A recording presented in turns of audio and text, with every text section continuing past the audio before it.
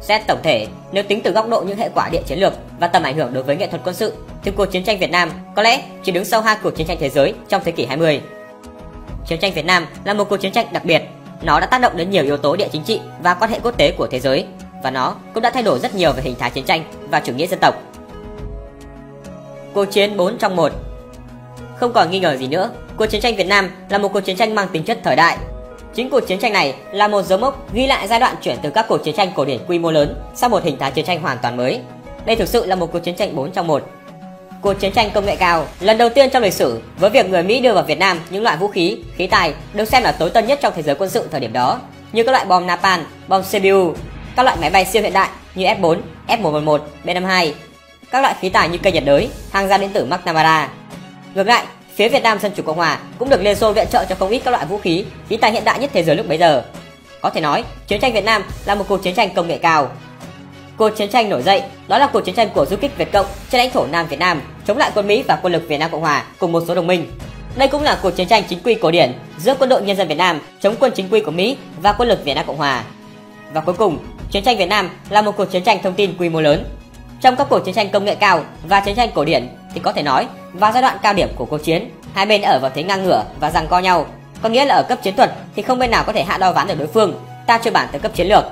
Tất nhiên, Mỹ đã có thể tính tới việc sử dụng bom nguyên tử, nhưng những sức ép từ Liên Xô đã khiến họ từ bỏ ý định đó. Nhưng trong cuộc chiến tranh thông tin thì Việt Nam Dân chủ Cộng hòa đã chiến thắng một cách xuất sắc. Có lẽ chiến thắng trong cuộc chiến tranh thông tin đã giúp những người cộng sản Việt Nam giành thắng lợi trọn vẹn trong cả cuộc chiến tranh nói chung. Chiến tranh du kích Các phân đội Bắc Việt đã xâm nhập Nam Việt Nam từ giữa năm 1959 đến cuối năm sau, tức ngày 20 tháng 12 năm 1960, mặt trận giải phóng miền Nam Việt Nam được thành lập và ngay sau đó, mặt trận này đã thành lập quân đội riêng của mình.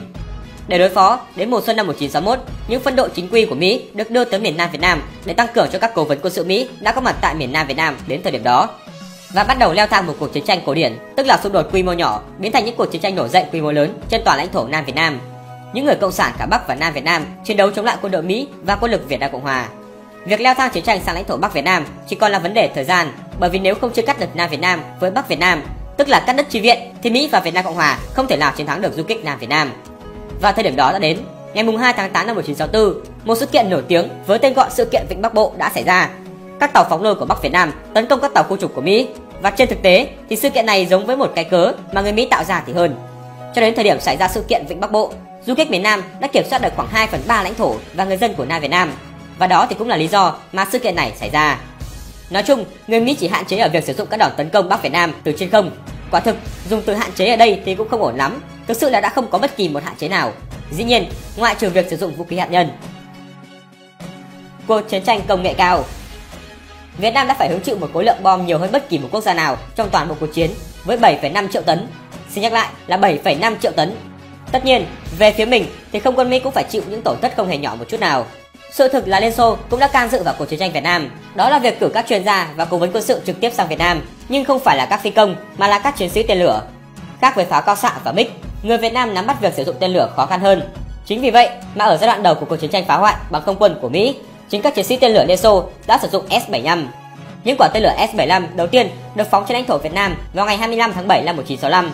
Các tổ hợp tên lửa của Trung đoàn tên lửa phòng không số 236, quân khu phòng không Moscow đã bắn hạ 3 chiếc F4 hay còn được phía Việt Nam gọi là con ma. Không quân Mỹ có vinh dự là lực lượng không quân đầu tiên trên thế giới đối đầu với các đợt tấn công bằng tên lửa phòng không ồ ạt.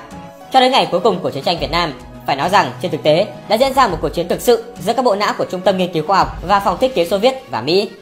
Hiệu quả tác chiến rất cao thời kỳ đầu, tức là số lượng tên lửa và sử dụng để tiêu diệt một máy bay của S-75 đã giảm xuống nhiều lần do Mỹ đã sử dụng phương tiện tác chiến điện tử, tên lửa chống radar và các chiến thuật mới. Mặc dù vậy, người Mỹ vẫn không thể nào giải quyết được các vấn đề với các tổ hợp tên lửa phòng không của Bắc Việt Nam.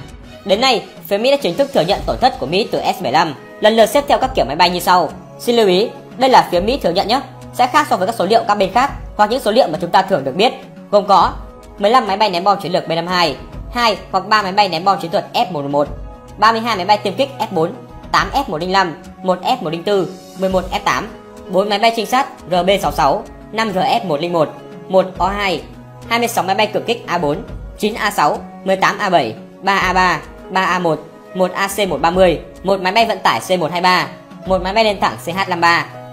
Thiệt hại trên thực tế chắc chắn phải cao gấp nhiều lần. Số lượng tối đa máy bay của Mỹ bị các tổ hợp tên lửa phòng không Bắc Việt Nam bắn rơi là khoảng 1.770 chiếc, nhưng bây giờ thì đã rất khó xác định. Tổng cộng, từ năm 1965 đến 1972, Liên Xô đã cung cấp cho Việt Nam cơ số đạn và tổ hợp tên lửa tương đương với 95 tiểu đoàn S-75 và 7.658 quả tên lửa phòng không. Đến cuối cuộc chiến tranh, đã có khoảng 6.806 quả đạn được sử dụng. Lực lượng còn sẵn sàng chiến đấu đến thời điểm kết thúc chiến tranh tương đương với 43 tiểu đoàn. Chiến tranh thông tin Giai đoạn bước ngoặt của cuộc chiến có lẽ là năm 1968. Lần đầu tiên trong lịch sử, người ta mới ngộ ra rằng những hình ảnh trên truyền hình về chiến tranh có khi còn quan trọng hơn chính cả cuộc chiến. Ngày 30 tháng 1 năm 1968, 84.000 du kích Nam Việt Nam và các chiến sĩ Bắc Việt đã bắt đầu một cuộc tổng tấn công Tết Mậu Thân, công kích mãnh liệt 36 trong 43 tỉnh lỵ Nam Việt Nam. Các chiến sĩ cộng sản đã chiếm cố đô Huế. Những trận chiến ác liệt diễn ra ngay trên các đường phố Sài Gòn. Toàn nước Mỹ đều tận mắt chứng kiến những hình ảnh trên màn hình TV và đến lúc này thì không ai và không cái gì có thể thuyết phục được người dân Mỹ nữa. Mọi công dân Mỹ hiểu rằng người Mỹ đã thua và cần phải nhanh chóng chấm dứt cuộc chiến. Chiến dịch Mậu Thân này đã làm suy yếu rất mạnh tiềm lực tác chiến của những người cộng sản, nhưng bản thân một cuộc tấn công quy mô lớn như vậy vào các đô thị lớn cũng làm cho tâm lý và tinh thần của người Mỹ suy sụp không kém. Không những thế, một nhóm binh sĩ Mỹ của sư đoàn bộ binh số 23 dưới sự chỉ huy của trung úy Carley đã thảo sát dân thường tại làng Mỹ Lai và nổi tiếng thế giới với cái tên sự Mỹ. Quân nhân Mỹ đã sát hại những người dân thường vô tội các quân nhân của quân đội chính quy Mỹ không có kinh nghiệm tác chiến chống du kích, hơn nữa là chống lại một đối phương cực kỳ thông minh và cũng cực kỳ cứng rắn như những người du kích cộng sản Việt Nam. Những người du kích chiến đấu trong điều kiện tự nhiên, khí hậu địa hình quen thuộc nhưng lại hoàn toàn xa lạ đối với người Mỹ. Vụ thảm sát sở Mỹ đã tạo ra những sự thay đổi lớn trong các lực lượng vũ trang Mỹ. Lầu năm góc buộc phải ra một sắc lệnh yêu cầu các quân nhân Mỹ phải tuyệt đối tuân thủ các chuẩn mực của luật chiến tranh. Nhưng điều đó thì đã quá muộn. Uy tín của quân đội Mỹ đã sụp đổ trong con mắt của toàn thế giới và ngay chính cả trong nhân dân Mỹ. Vấn đề chính của người Mỹ lúc này không chỉ còn là sự xâm nhập của lính Bắc Việt vào miền Nam nữa, mà còn là cả sự tha hóa từ ngay bên trong. Chỉ trong năm 1969, 37 sĩ quan và hạ sĩ quan Mỹ đã bị chính các binh sĩ Mỹ dưới quyền bắn chết. Trước đây, trong quân đội Mỹ chưa từng có trường hợp nào như vậy. Còn ngay trong lòng nước Mỹ thì hiện tượng lính quân dịch đào ngũ và các hoạt động phản chiến của nhân dân Mỹ đã trở thành một phong trào không thể nào ngăn chặn được nữa. Cuộc chiến tranh thông tin đã thất bại hoàn toàn đối với chính quyền Mỹ và chính vì thế mà những thắng lợi quân sự trong năm 1968 và 1969 đã không còn một chút ý nghĩa nào chính quyền Mỹ đã nhận thức được rằng trong một đất nước dân chủ thì không thể sử dụng một đội quân nghĩa vụ để tiến hành một cuộc chiến tranh mà dư luận của xã hội đất nước đó không thể chấp nhận. Đây là lý do vì sao mà ngay sau khi kết thúc cuộc chiến tranh Việt Nam, chính quyền Mỹ đã bãi bỏ chế độ quân dịch và xây dựng một quân đội chuyên nghiệp. Chiến tranh chính quy cổ điển Trong các năm 1970-1971, người Mỹ đã tiến hành các đợt công kích sang lãnh thổ Lào và Campuchia nhằm cắt đứt tuyến chi viện từ Bắc vào Nam Cuộc tấn công vào Campuchia mang lại một kết quả hạn chế, nhưng vụ can thiệp vào Lào thì đã thất bại thảm hại. Sau các sự kiện đó, Hà Nội quyết định phải giải quyết dứt điểm vấn đề. Ngày 31 tháng 3 năm 1972, một đội quân Bắc Việt Nam với quân số không ít hơn 40.000 người và 400 xe tăng, thiết giáp đã tấn công Nam Việt Nam. Đây thực sự là một cuộc chiến tranh cổ điển điển hình giữa các quân đội chính quy.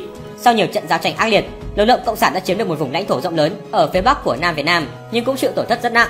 Đến nỗi mà thời điểm đó, Hà Nội lên kế hoạch tổng tấn công được xác định là vào tận năm 1976, tức là 4 năm sau đó. Nhưng trên thực tế, những người cộng sản Việt Nam đã đạt được những điều mình muốn thông qua đợt tấn công này. Mỹ buộc phải quyết định rút hoàn toàn lính Mỹ ra khỏi Việt Nam. Tuy nhiên, trước khi rút đi, người Mỹ cũng đã đóng sập cửa rất mạnh bằng cách tiến hành một đợt không kích ồ ạt chống lại Bắc Việt Nam. Chiến dịch là Baker 2 và tự tuyên bố đã đã chiến thắng để giữ thể diện. Trong chiến dịch này, Mỹ đã ném xuống Bắc Việt Nam gần 50.000 tấn bom, phá hủy 1.600 công trình. Nhưng cũng trong chiến dịch này, không quân Việt Nam tuy mất 3 chiếc MiG-21 nhưng đã hạ được số lượng mang tính kỷ lục về B-52 và nhiều loại máy bay hiện đại khác của Mỹ. Đầu năm 1973, hiệp định Paris được ký kết, Mỹ phải rút quân khỏi Việt Nam. Trong cuộc chiến tranh này, Mỹ đã phải trả giá bằng 58.169 binh sĩ và sĩ quan thiệt mạng hoặc mất tích, hơn 200 xe tăng và 3.700 máy bay, 4.800 máy bay lên thẳng, hàng trăm tỷ đô la cuốn theo chiều gió và một cú sốc tâm lý cực mạnh. Di sản khổng lồ cho đồng minh Việt Nam Cộng Hòa người Mỹ đã rút đi nhưng để lại cho chính quyền Việt Nam Cộng Hòa một khối lượng vũ khí khổng lồ. Quân đội Nam Việt Nam về mặt hình thức đã là một trong những quân đội mạnh nhất trên thế giới. Nếu tính về số lượng máy bay chiến đấu thì quân đội này đứng thứ ba trên thế giới, chỉ sau quân đội Mỹ và quân đội Liên Xô và hơn quân đội Bắc Việt Nam rất nhiều lần nếu tính về quân số và vũ khí, trang bị kỹ thuật. Nhưng điều đó thì đã không còn ý nghĩa gì nữa. Số phận chính quyền Nam Việt Nam đã được định đoạt và có lẽ những người cầm quyền ở Sài Gòn có khi còn hiểu rõ hơn ở Hà Nội. Những người cầm quyền ở Sài Gòn hiểu rằng người Mỹ sẽ không bao giờ quay trở lại và chỉ còn chờ ngày kết thúc yếu tố tâm lý tỏ ra quan trọng hơn nhiều lần so với số lượng và chất lượng của vũ khí. Nhờ có các căn cứ ở Lào và Campuchia mà quân Bắc Việt có thể tấn công lãnh thổ Nam Việt Nam trên toàn bộ tuyến biên giới với hai nước này. Tháng 3 năm 1975, khi quân Bắc Việt tấn công Tây Nguyên, Sài Gòn cho rằng đây là một cuộc tấn công nhằm chia cắt Nam Việt Nam thành hai phần. Vì thế, họ đã tập trung lực lượng quanh thủ đô Sài Gòn, gần như tự nguyện nhường toàn bộ phía Bắc, tức khu vực Tây Nguyên và Trung Bộ cho lực lượng cộng sản. Nhưng bất hạnh đối với chính quyền Sài Gòn ở chỗ là chính khu vực đó lại là nơi tập trung những lực lượng tinh nhuệ nhất của quân đội Sài Gòn. Cuộc di tản những lực lượng này đã nhanh chóng biến thành một cuộc tháo chạy hỗn loạn. Nắm được thời cơ, Hà Nội không còn một chút do dự gì nữa, tất cả các mặt trận đồng loạt tấn công và lúc này thì không ai và không cái gì có thể ngăn cản nổi. Đúng 11 giờ trưa ngày 30 tháng 4 năm 1975, lá cờ của quân giải phóng được kéo lên trên đỉnh nóc dinh tổng thống ở Sài Gòn. Xét tổng thể, nếu tính từ góc độ những hệ quả địa chiến lược và tầm ảnh hưởng đối với nghệ thuật quân sự thế giới, thì cuộc chiến tranh Việt Nam chỉ đứng sau hai cuộc chiến tranh thế giới trong thế kỷ 20 là cuộc chiến tranh thế giới thứ nhất và chiến tranh thế giới thứ hai. Sau khi chiến tranh Việt Nam kết thúc, thì hình thái chiến tranh cổ điển càng lưu sâu vào quá khứ. Thay thế hình thái là cuộc chiến tranh công nghệ cao và phương án đáp trả phi đối xứng với nó là cuộc chiến tranh nổi dậy mà cái tên khác là du kích hoặc là khủng bố. Ngoài ra, chiến tranh thông tin thì càng có ý nghĩa quan trọng hơn, đôi khi còn thay thế hoàn toàn các hình thái chiến tranh khác.